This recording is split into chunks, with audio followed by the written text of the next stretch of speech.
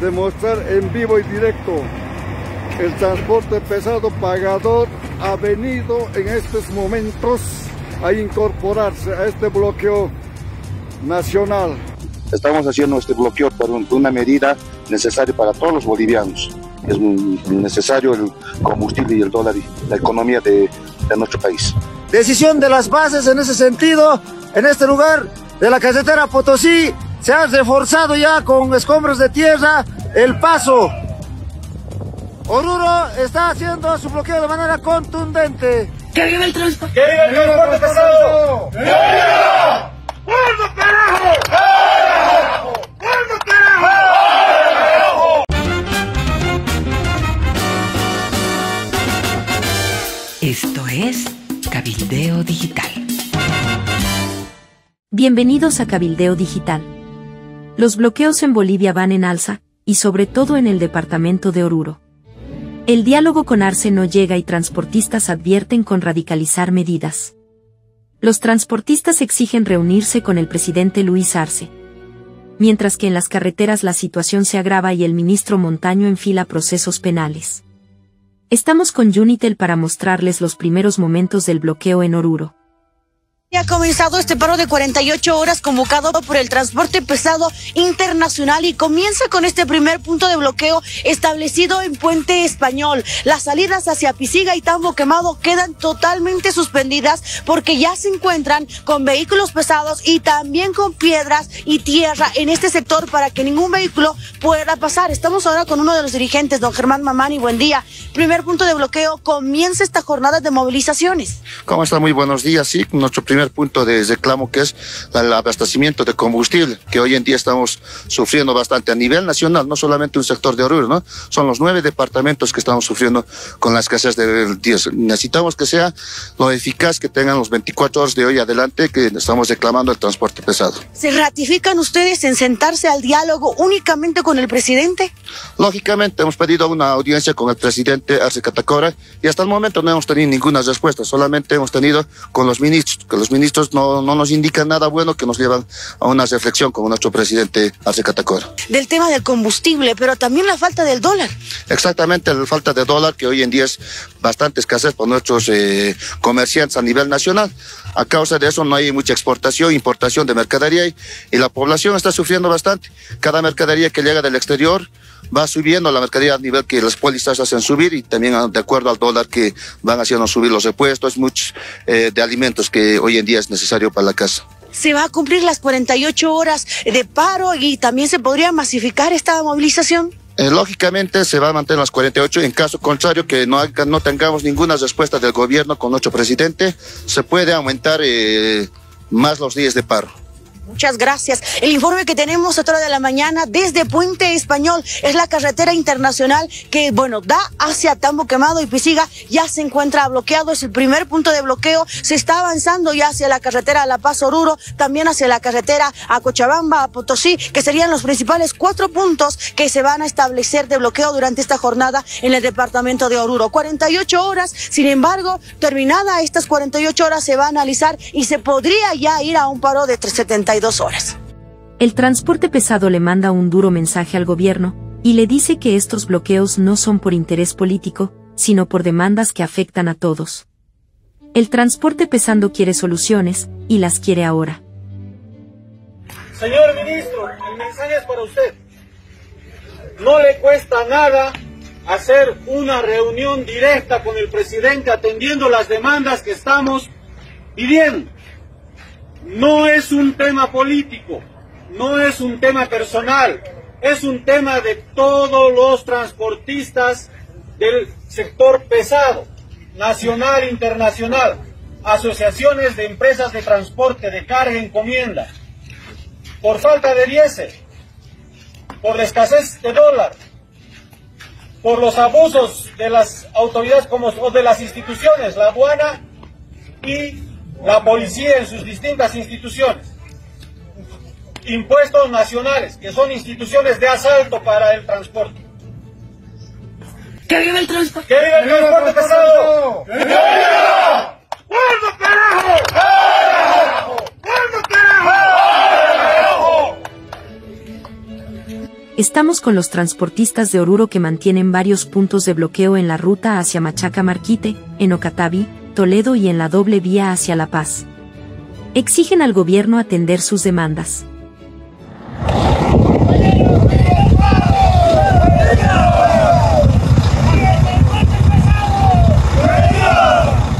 Así de esta manera está ocurriendo acá, se ha reforzado el bloqueo de carreteras, esto ya es indefinido, esa es la decisión de las bases en ese sentido, en este lugar de la carretera Potosí, se ha reforzado ya con escombros de tierra el paso.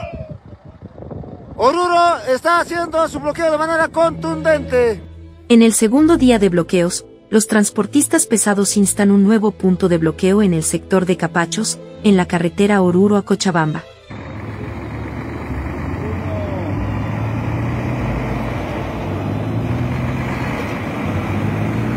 Hola, buenos días compañeros del transporte pesado nacional internacional del departamento de Oruro.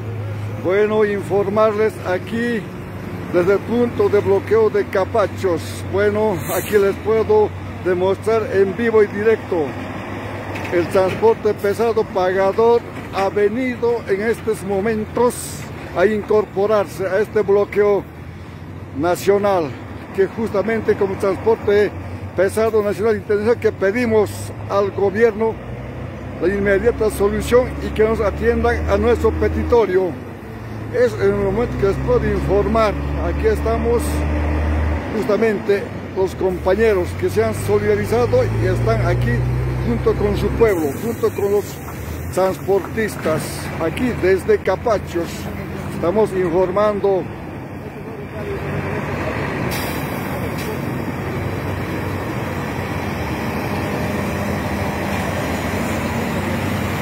son cantidad de camiones que están pasando a reforzar el bloqueo.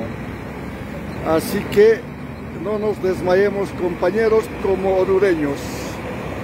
Hay que ser optimistas y sé que vamos a lograr con el apoyo de todos los transportes pesados orureños.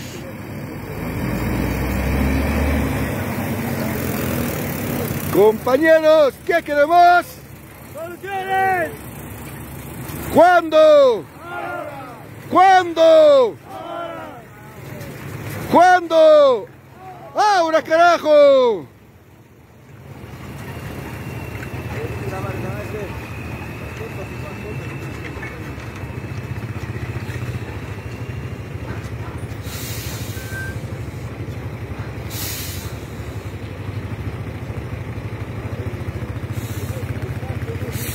Bueno, bueno, seguir informando aquí desde el punto del bloqueo. Seguimos, seguimos.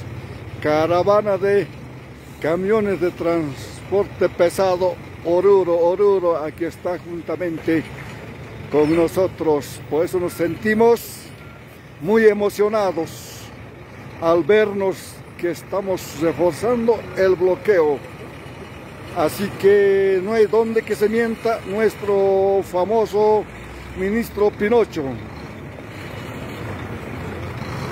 Aquí estamos, sigue, siguen viniendo. Hay pequeños, grandes, Nissan Cóndores, todos se están sumando a este bloqueo.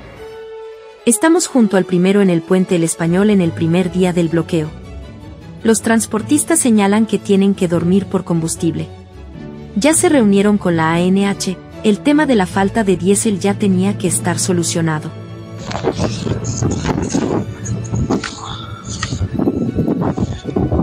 ¿Cómo están amigos? Se revisa el primero, tengan ustedes muy buenas tardes. Nos encontramos en uno de los puntos de bloqueo por parte del Sindicato de Choferes Asalariados 16 de noviembre, la Cámara Departamental de Transporte y demás.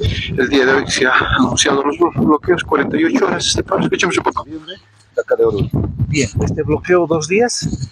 Son 48 horas que tenemos este bloqueo determinado en una asamblea que se realizó en Cochabamba. Van a pasar la noche entonces aquí bloqueando. Lógicamente, vamos a pasar la noche, esta noche toda la noche y mañana seguimos. ¿Principales demandas que piden ustedes? Tenemos cuatro puntos de demanda, del abastecimiento de combustible, del dólar, aduana, impuestos. ahora, ¿qué piensan? Hay otros sectores que no están bloqueando. ¿Qué opinan sobre este aspecto? Eh, lógicamente estamos eh, con los medios de, de los redes escuchando, indicando que es un sector de política que estamos haciendo esta, esta marcha, esta protesta, bloqueo, pero no es así. Estamos haciendo este bloqueo por, un- por una medida necesaria para todos los bolivianos. Es necesario el combustible y el dólar y la economía de, de nuestro país. ¿Creen ustedes que este movimiento se está debilitando, habiendo que otros sectores no están bloqueando, por ejemplo, Cochabamba? No, más bien yo creo que estamos masificando. Oruro está más fuerte que nunca porque es el principal el, de los dos puertos que ingresa al movimiento de Bolivia. Paralizado. Otro de los mm, transportistas. Es necesario el diésel, no hay diésel, él ha visto largas filas. Lógicamente es necesario con el combustible, se ve dos noches que estamos durmiendo con también gasolina, ¿no? Y en las fronteras de la misma manera. Los camiones que van descansando haciendo la fila nos van robando los materiales, los repuestos de cada camión. Y es un perjuicio total para el transportista. Escuchemos otro de los representantes. Directamente ¿Qué puntos con-? Tenemos en, en- en la balanza Zino, que es en Vinto, y también en Puerto Seco. Son tres puntos que están, y otro punto también que está en la salida, ¿no? Hacia Capaches. Bien, no hay más diálogo que sea con el presidente. Exactamente, es lo que estamos pidiendo, ¿no? Porque ya se ha, o sea, ya se ha terminado, ya, ha- ya ha habido ¿Y qué bastantes reuniones. otros sectores que han firmado con el ministro de Obras Públicas este fin de semana? Eh, eso ya es una, ¿cómo se puede decir, no? Que el, el ministro no está queriendo ya eh, eh, así, variar la perdiz, en otras palabras, ¿no? Puesto de que esos, esos no son actores del, del transporte internacional, a lo que hemos visto. Los- el transporte internacional está aquí, en los bloqueos. Esos son los, los que estamos luchando por, por el pedido. Largas filas se ha visto en los surtidores por diésel. Sí, sí, actualmente sigue. A pesar que la anterior semana hubo una reunión con la ANH aquí en Oruro que nos han dicho que iba a, a solucionarse todo esto, pero no hay nada, sigue lo mismo. Seguimos durmiendo una noche, dos noches en los surtidores para, para surtirnos diésel. Mientras ustedes duermen ahí les roban incluso algunas cosas. Es así, tenemos, tenemos las pérdidas que nos roban y no hay quien nos, que nos devuelva eso, ¿no? Porque también son eh, los repuestos que no, no son baratos, son los que más caros que nos roban. Y así va de los 2.000, 3.000 bolivianos y, y bueno, ya- y no hay quien nos devuelva todos esos, esos gastos, ¿no? Gracias. Ahí lo tienen, imágenes en este momento. Vamos a avanzar por este lado un poco para poder apreciar. Se ha hecho cargas de tierra, de piedra en este lugar y se puede ver todo esto a esta hora de la tarde en este punto de bloqueo, en este sector de lo que es el puente español. Ahí lo tiene, imágenes del puente español. Muchas gracias, ahí lo tiene. Vamos a ir dirigiéndonos, vamos a ver si podemos alcanzar otros puntos de bloqueo. Son 48 horas de este paro que se ha anunciado, estos bloqueos por parte de la Cámara Nacional del Transporte, la Cámara Departamental del Transporte de Oruro. El día de ayer se ha oficializado todo aquello entre los rumores de que tal vez no se iba a acatar. Cochabamba también se existen algunos bloqueos, hay algunos sectores que han firmado con el gobierno y el gobierno ha salido indicando de que este sector estaría prácticamente minimizado, pero usted lo puede ver, el paro en este lugar. Se puede ver 48 horas, se van a quedar a dormir, tenemos entendido, así que el chicotazo por haber llegado tarde seguramente. Ahí lo tienen, la convocatoria que han sacado han indicado que no iba a haber multas ni nada, así que todo esto prácticamente se va realizando de manera voluntaria por parte los pedidos. Recordemos el tema de la escasez de dólar, combustible y demás. Muchas gracias. En cualquier momento estamos de retorno con más información. La policía nos informa sobre los cuatro primeros puntos de bloqueo del día 1 en el departamento de Oruro. Eh, lamentablemente, en, el, en la jurisdicción de Oruro, en la actualidad, en este momento, tenemos cuatro puntos de bloqueo que se han instalado por parte de la Cámara Departamental de Transporte de Oruro y obviamente sus afiliados. Es en ese contexto de que se ha establecido un punto de bloqueo en la salida a la carretera Oruro-Pisiga, a la altura del denominado Puente Español, donde personas han dejado promontorios de tierra y se encuentran en vigilia en este sector. El segundo punto de bloqueo está la salida a la carretera Oruro-Potosí, a la altura del lugar conocido como La Balanza, donde vehículos de alto tonelaje han sido abandonados, se han dejado en el lugar, cuyo eh, de esa manera impide el tránsito de vehículos hacia el sur del país. Finalmente, también tenemos un punto de bloqueo en la carretera Oruro-La Paz, esto a la altura de Puerto Seco, eh, donde alrededor de 10 vehículos de alto tonelaje también están eh, obstaculizando las vías de, de, llegada y salida a nuestro departamento. También existen promontorios de tierra en el lugar, hay vehículos, eh, no existen vehículos varados, toda vez que tenemos rutas alternas en el sector. Y finalmente, el cuarto punto de bloqueo está ubicado en, ya al interior de nuestra ciudad, esto a la altura de la rotonda de San Inco, en la zona sur, eh, donde se tienen cerca, alrededor de 10 vehículos de alto tonelaje que han sido también dejados en inmediaciones que eh, impide el traslado y el transporte de vehículos en ese sector. Bueno, son estos cuatro puntos de bloqueo que principalmente están dentro eh, de las, eh, al interior de la ciudad y a la salida de nuestra, de nuestra ciudad que impiden obviamente el normal tráfico, tránsito de vehículos que van de, la, de Oruro a La Paz, de Oruro hacia Potosí y sobre todo de Oruro hacia, hacia punto fronterizo de Pisiga. Al momento no tenemos un punto de bloqueo entre Oruro y Cochabamba en, lo que se refiere a la jurisdicción de Oruro. Pero sí tenemos conocimiento que lamentablemente en el departamento de Cochabamba sí existirían puntos de bloqueo a la llegada de ese departamento. Estamos en el puente español, en el día 2 de bloqueo. Llegaron cisternas de Chile y los bloqueadores permiten el paso de sus colegas. Las cisternas llegan cargadas de combustible rumbo a su distribución.